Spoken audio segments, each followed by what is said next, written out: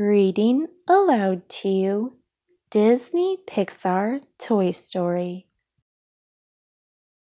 Adapted by Kristen L. Depken and illustrated by Ben Butcher. Inspired by the art and character designs created by Pixar. Andy was a very lucky boy. He had lots of different toys, but his favorite toy was a cowboy named Woody. Andy loved to play with Woody. But there was something Andy didn't know about Woody and the other toys. When Andy wasn't around, the toys had a life of their own. They moved, they talked, they laughed, and they had adventures. All toys did, but only when no one was watching. One year, Andy got a brand new toy for his birthday a space ranger named Buzz Lightyear. Buzz had flashing lasers, gadgets, and even wings. Buzz thought he was a real space ranger. He even thought he could fly. Woody tried to tell Buzz that he was actually a toy, but Buzz wouldn't listen. Soon Buzz became Andy's new favorite toy. This made Woody very sad. One day, Andy was going to Pizza Planet. His mom told him he could bring just one toy. Woody wanted to go. He tried to shove Buzz aside, but he accidentally pushed Buzz out Andy's bedroom window instead. Whoops!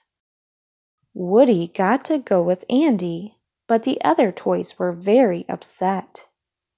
They thought Woody had pushed Buzz out the window on purpose. Woody felt bad until Buzz turned up in the car, too. Buzz was angry with Woody. The two began to fight. When the car stopped at the gas station, they tumbled out the back door. Oh no! Andy and his mom drove off to Pizza Planet, leaving Buzz and Woody behind.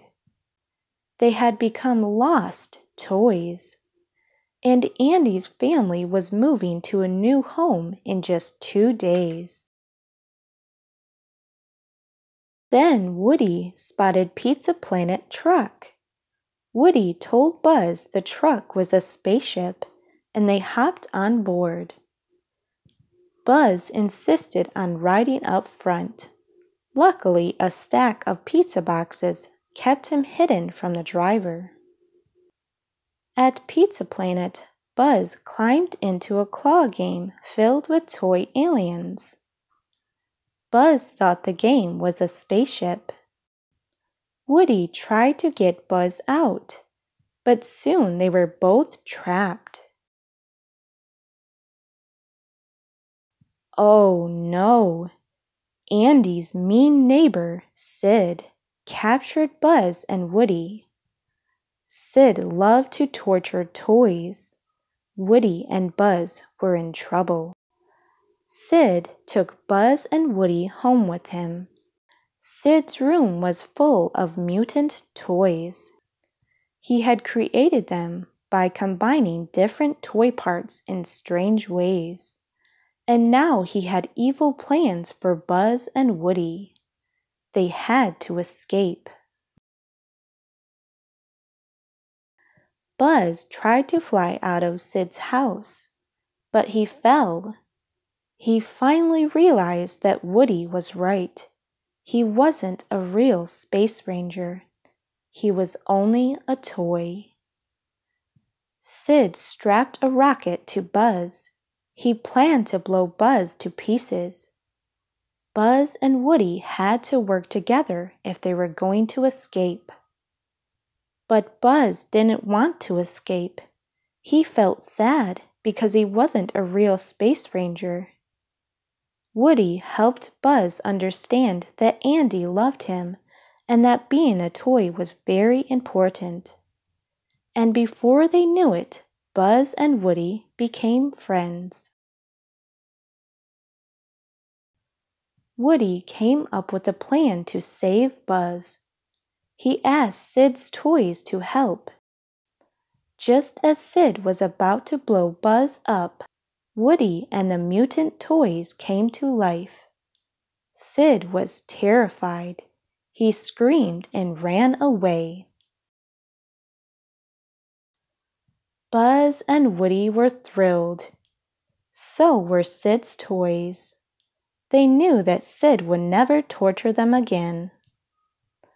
Now Buzz and Woody were free to go back to Andy.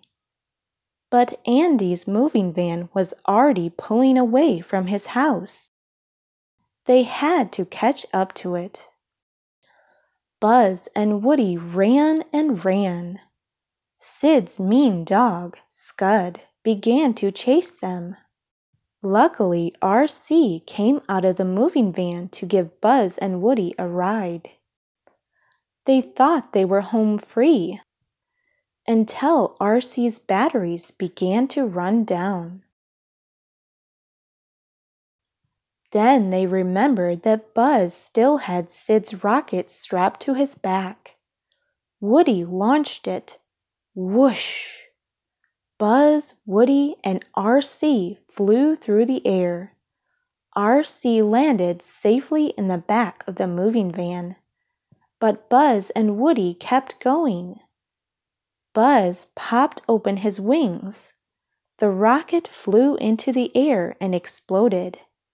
Buzz and Woody were falling. But thanks to Buzz's wings, they were falling with style. Buzz held on to Woody and veered toward Andy's car. Buzz and Woody glided through the car's sunroof and plopped down next to Andy, right where they belonged. The end. I hope you enjoyed this story. For more stories, please don't forget to subscribe. Thank you and have a lovely day.